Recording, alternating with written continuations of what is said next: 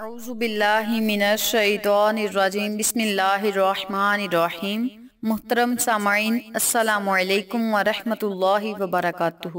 میں آپ کو اپنے چینل اقسا اسلامک ایجوکیشن میں خوش آمدید کہتی ہوں اور دعا کرتی ہوں، اللہ تعالیٰ آپ سب کو خوش رکھے، آباد رکھے اور آپ پر اپنی ہزار رحمتیں بارش کی طرح برسائے۔ سامعین، آج میں آپ کے ساتھ بہت خاص اور مجرب وظیفہ شیئر کرنے جا رہی ہوں۔ یہ وظیفہ بہت ہی آسان اور مجرب ہے۔ اس عمل کے کرنے سے انشاءاللہ اللہ پاک آپ کی ہر دعا کو سنے گا اور قبول فرمائے گا۔ آج کا وظیفہ ان لوگوں کے لیے ہے جو چاہتے ہیں کہ اللہ پاک ان کی ہر دعا قبول کرے۔ ان کی ہر نیک دلی حاجت پوری ہو، ہر نیک دلی خواہش پوری ہو اور انہیں ہر کام میں کامیابی ملے۔ وہ جو بھی اللہ سے دعا کریں، اللہ پاک ان کی دعا کو فوراً سنیں اور قبول فرمائے۔ تو وہ لوگ اس عمل کو، اس وظیفے کو لازم کریں۔ انشاءاللہ اس عمل کے کرنے سے اللہ پاک آپ پر اپنی رحمت بری نظر کرم جمائے رکھے گا اور آپ کی ہر دعا کو سنے گا اور آپ کو ہر وہ چیز عطا کرے گا جو آپ کے حق میں بہتر ہوگی۔ تو آپ اس عمل کو، اس وظیفے کو خود بھی کریں، اپنے عزیز و کار فیملی ممبرز کے ساتھ شیئر بھی کریں تاکہ تمام ضرورت مندوں کی ضرورتیں پوری ہوں، آپ کو اور مجھے صدقہ جاریہ کا ثواب ملتا رہے۔ تو چلیں، آپ کا وقت ضائع کیے بنا ہم اپنے مقصد کی طرف چلتے ہیں۔ وظیفہ ذکر کرنے سے پہلے میری آپ سے گزارش ہے کہ میری ویڈیو کو آخر تک ضرور دیکھیے گا۔ اور جن لوگوں نے ابھی تک میرے چینل اقسا اسلامک ایجوکیشن کو سبسکرائب نہیں کیا، وہ نیچے موجود لال رنگ کے بٹن کو دبا دیں اور ساتھ موجود گھنٹی کے بٹن کو دبا دیں تاکہ میری ہر نئی آنے والی ویڈیو کی اپڈیٹ آپ تک با آسانی پہنچ سکے۔ جزاک اللہ۔ وظیفہ کرنے کا طریقہ اچھی طرح سن لیں اور سمجھ لیں۔ آپ نے روزانہ ہر نماز کے بعد اکیس مرتبہ اللہ کے دو ناموں کا ورد کرنا ہے۔ اللہ کے یہ دو نام کیا ہیں اور انہیں پڑھنا کیسے ہے، یہ بھی توجہ سے سن لیں۔ بسم اللہ الرحمن الرحیم۔ یا رافیو